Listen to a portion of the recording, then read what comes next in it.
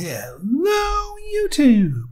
I am Pinstar, and this is Pinstar Plays Cruise Ship Manager. So, yeah, this is a game that uh, came across my inbox a, a little while ago, and um, it is coming out in early access on, I believe, the 22nd. But the developer gave me uh, early access to sort of a demo version of it uh, so I could uh, show it off to you guys. Uh, so, and that's what we're going to do. The game I, I played uh, a little bit before, uh, played through the tutorial and whatnot. Um, it's got some vibes of of like Sim Tower to it, but on a cruise ship. It's a, it's an interesting twist on the formula. So let's dive in. We got to play at whatever the defaults are. Full version will have all the tweaks and whatnot. Okay, so uh, like I said, I've gone through the tutorial, so I will be your tutorial. Um, so first step here, this this this whole cruise ship thing uh, takes place in the Mediterranean. So we got to plan our cruise here, or at least our first cruise. Uh, so our ship is currently located here, uh, and we have two valid destinations: uh, Messina or Athens. Now, um, Athens here, it's it's a higher it's a high ticket price, but recommended reputation of 110. We only have a reputation of 100, so this may be a little bit thick for our blood. Uh, Messina, on the other hand, this one might be a uh, might be a better one here. Not only do we have recommended reputation of 88, which we more have more of. It's it's a little bit easier. I know lower risk, lower reward, but I mean this is our first cruise. We got to get our we got to get our feet wet, as it as it were. Um, not to mention, this one has 15 crew members to hire, and currently we have no crew members. This one only has five. So we have a much bigger pool of people to hire from if we go to Messina. Uh, so yeah, let's confirm our cruise. Now on to build mode, where we actually, you know, kit out our, our ship here. Now the tutorial is going to force me to place some things. Um, here, I, I'm going to move these rooms to optimize things in a moment. And some of these I might not even use. Right then. So, all right, now we have full control. So there's a couple of things to note here. Uh, one is that um, there are four different levels to the ship at the moment, and um, passengers come in from the bottom level, but they need to be able to get up to the upper levels. Um, and at the moment, you can see from the red lines here, there's no way to get up to the upper deck. So we need something to get them up there. Um, now, one thing I was looking at is we can, I know we built this diner here, but maybe we don't do the diner. What if we sell this room get our money back. Um, and what if we do a club? Because the club it takes up a lot of space, but it kind of acts like a um, like a stairway because you can you have stairs going up and down, so it acts as a stairway to give people functional access, but it's also a form of entertainment. Um, now then, if we go to utilities, we are going to need another stairway to actually get people up to the uh, the final final floor here, like that. That should be good. Now then, um, we do need some crew here. How much? We don't need, as many work slots, which is a good thing. Um, we could probably get away with. All right, no, no pub. Yeah, 13 service slots, two work slots. Yeah, that's that's actually probably a better idea. I, I don't think we have the money to do both because keep in mind we need a lot of passenger cabins. But what we can do is let's get two crew cabins because we need we have four work slots, but we this will give us uh, uh, six workers. And we'll move the one they forced me to place down here.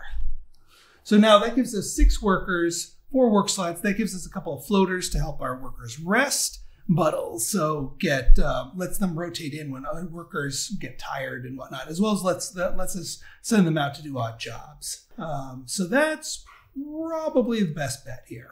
Right then. Now the rest, the rest we're going to do um, cabins. Let's move this one over a smidge meter. These two are basically the same thing stat wise. They they have they let people sleep, they let people use the bathroom, but that's it. Um, hmm.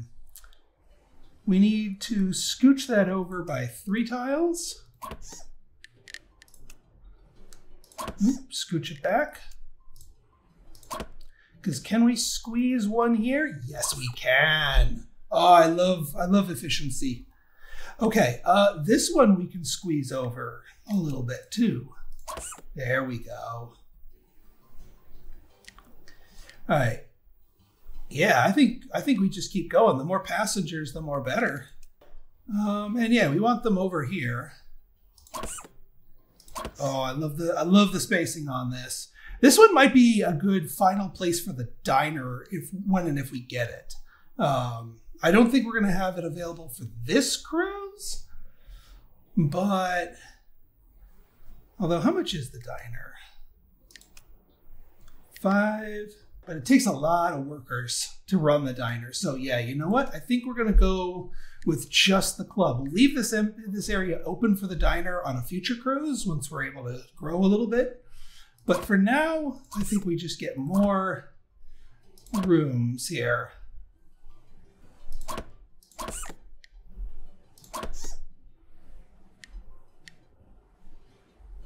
Now, just to space this out, yeah, so just the diner here. We can't really squeeze anything else here, which is fine. We can get more cabins until we run out of money. Two more cabins to be exact, and that gives us $500 left in cash, which is fine. All right, let's see. So we're in blue build mode. Let's go to crew employment.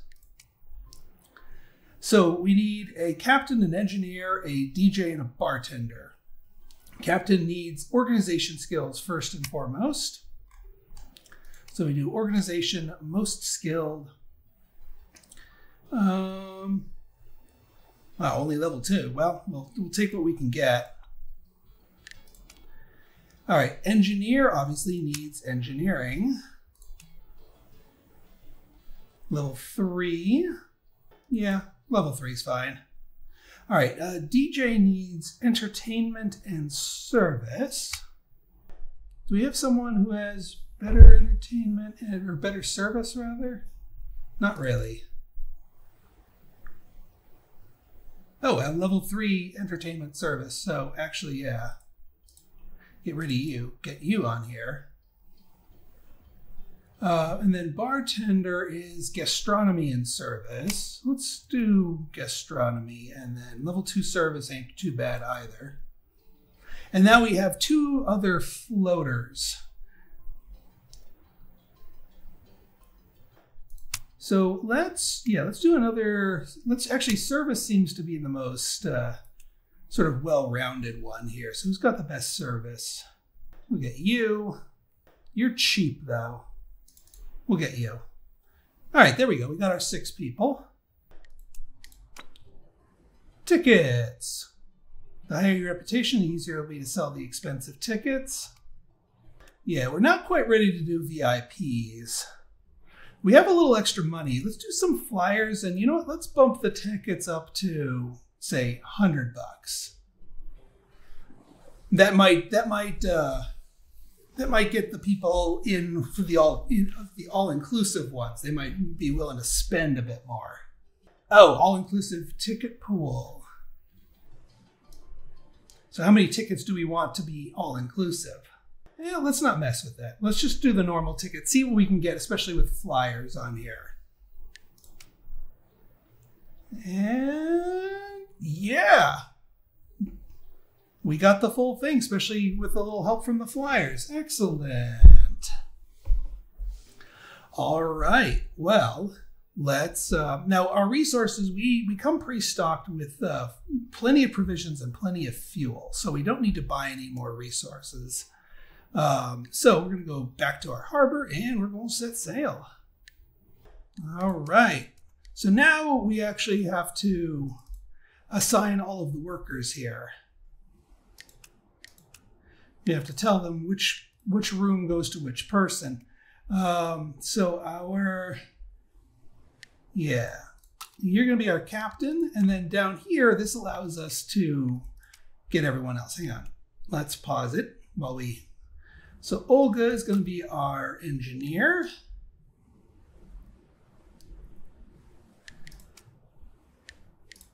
Oops. And then we need a DJ. Uh, yep. You're going to be our DJ. And then our bartender. There you go. And then the other two are just going to be floaters um, to help with odd jobs, but also um, take over when people uh, uh, get tired and whatnot.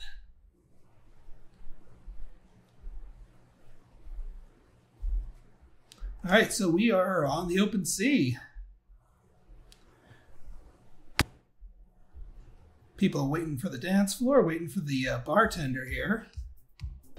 Ooh, level up. Our um, oh, sure, her, her level, her entertainment skill leveled up. She must have just been on the cusp there. Well, that that works. Now, there's going to be some people who um, don't um, there's going to be some people who don't uh, um, want the club. They want the diner or they want something else. Um, yeah, see, this person wanted a, a, restaurant, a diner, or a fitness room. So we're not really going to be able to, you know, get satisfy them fully. But you know, we're we're a young cruise ship. Also, there's little um, there's special events here. Famous DJ set costs us 400 bucks, or we can do a happy hour. Let's do a happy hour. I don't want to spend for. Uh, suggest rest. Yeah, when there's an exclamation point, you gotta send out one of your one of some of your people out to help people out. Maybe someone's getting a little bit too thrashed out there on the dining room and other things, you know, things break, things get dirty. That's why we wanted the extra, the two extra crew member floaters to help handle that. And like that, stinky room. Send a patrol. Did not take uh, long for one of the rooms to get stinky. Oop. Suggest a rest. So in my last playthrough, I, I actually went with the diner, and it didn't have these suggest arrest problems crop up. So this must be a thing unique to the club. So different different offerings cause different problems. Didn't I send somebody here? Someone's clean that stinky room. All right, people people are vibing. People are having fun we want to keep a look at our rating. And this is what our target is. So we got to get up a little bit further. We're not quite at our goal, but we got time. Somebody got a big plus nine bomb there too. And yeah, look at all the extra money we're getting from people spending on drinks. I'm glad we didn't do the all inclusive. We want people to pay a la carte here. Speed things up just a little bit. We're 34% of the way through our cruise crew doing their thing. Just keeping an eye on things. I do like the fact that that like you do have to manage things. It's not just a set the crews and then all right, here's how much money we made. There's there's there's some nuance to it. You got to keep an eye on things. You got to keep the ship afloat, both physically and metaphorically. But you see what I mean about this feeling like Sim Tower. Everyone has these little cutaway rooms that they visit, lights turn on and off as needed. Oop, what is your. You got your clubs. What are you angry about? Or is that somebody else that was all having the hissy fit? No, you have a. Uh, hunger, yeah. That's where we needed the diner too. But I mean, the diner doesn't provide fun. So if we did a diner and not instead of a club, then people would have no fun. So yeah, you know, it's only a couple days cruise. You won't starve to death.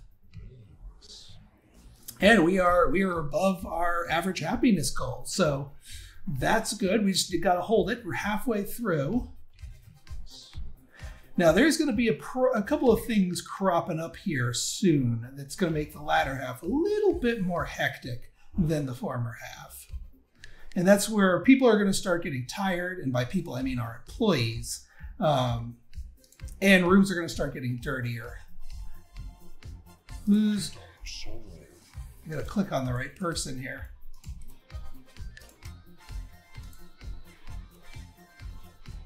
Oh, is it this person? So there we go. Suggest rest. So we just sent Anna out to deal with them. Yeah, see see this lower battery here? So when people are are doing things, their skills drain. Oh, it also requires efficiency and diligence. So let's unassign you. And yeah, your gastronomy is there. So let's unassign you. And then we'll have them trade places because individual skills. Oh, yeah. I, I, I yanked the, the, I stopped the music suddenly and everyone got all angry about it. Um, actually, you know what? Anna. So work post is entertainment, not service. Yeah. You know what? Hilda, you're gonna you're gonna take over here. We're, we're flip flopping you. And then bartender is gastronomy and service. You know what? You're uh, you're you're an engineer. You know what? You're gonna need a break from engineering. So I'm gonna send the engineer to go bartend, uh, and then our engineer. Uh, Hilda's that Paula, there you go. You you can moonlight as an engineer. And that also probably means our captain is going to need a little break, right? Yeah, our captain's getting tired. Um, Paula, there you go. Repl- relieve our captain. And somebody, uh, some somebody clean up some messes here. Because someone, uh, so, someone made a bit of a mess here. I do like how the music stops when the DJ walks away and then starts back up again once uh, once once their replacement is there. All right, stinkiness has been cleaned up, and by stinkiness, I'm pretty sure that's barf. Yeah, so the, the fact that like individual skills get tired rather than the employee themselves get tired is an interesting mechanic. I haven't seen that before. Um, now that being said, you if you send a, an employee out to just rest, they'll recover all their skills a lot faster and recharge their batteries. So, and I think there are some like ancillary skills that play into these. Um, that might be why they're still showing the batteries, but we're 71% of the way there. Oop, and we got some So we got to send Anna there. Anna goes there. And then the third one, Constantino. It's not good that the engine room has a, has something broken in it. Hopefully we actually make it. now I'm curious if so I still I sent Anna to both of these rooms to fix them up um, does that cue up their actions or not? Or do they do anything? Constantino, go, go help them out. Uh-oh. Uh, there's a fire? Um, Constantino, do something about that first, actually. Who the hell set fire to their room? Whew. Okay, that was a little close. Constantino, go. Go here.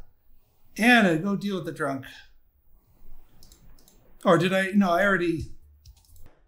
All right, so Anna, they, they don't queue it up unless Anna comes in here. Nope, Anna comes in here.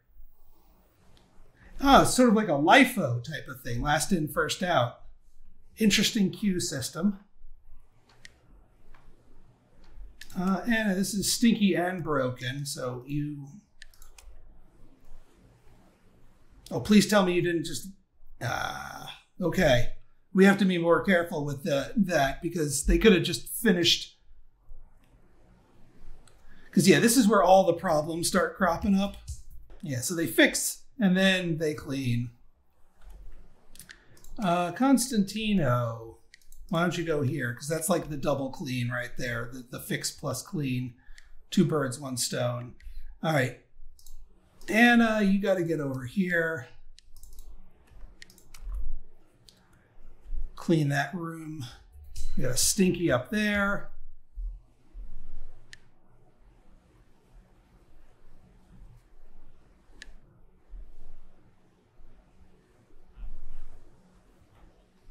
All right. Um, all right. Anna, you've got a stinky broken up here. These people's are, these people are hard on a cruise ship. I'll tell you that. Setting fire, and now we got a drunkard. Um, show the way, Constantino. You help them out. Uh, after, you should have finished that first and Constantino, since you're already going to be there. Uh, Constantino. I do wish they let us queue. Uh, Constantino, why don't you clean the stairway? just because so many people interact with it. All right, Anna is fixing and destinkifying. Hopefully these things clean themselves boy, maybe we do need a little bit extra crew here.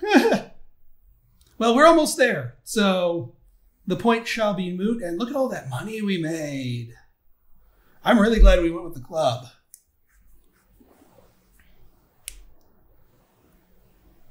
Nice.